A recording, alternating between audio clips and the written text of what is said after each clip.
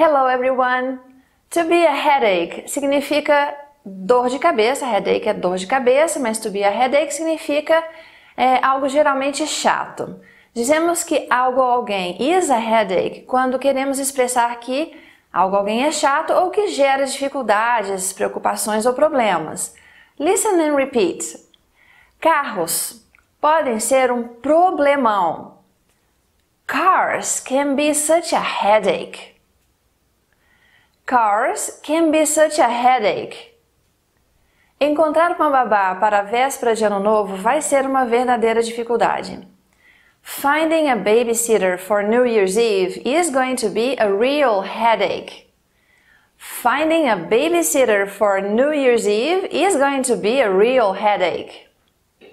Estacionar é um grande problema nesta parte da cidade. Parking is a major headache in this part of town. Parking is a major headache in this part of town.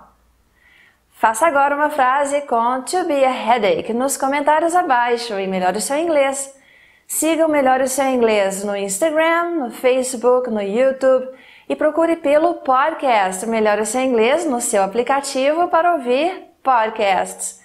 Para aulas de inglês por Skype ou WhatsApp, individuais, personalizadas, focadas em conversação e para todos os níveis, basta entrar em contato comigo ou com o professor Newton. Um grande abraço and see you next class!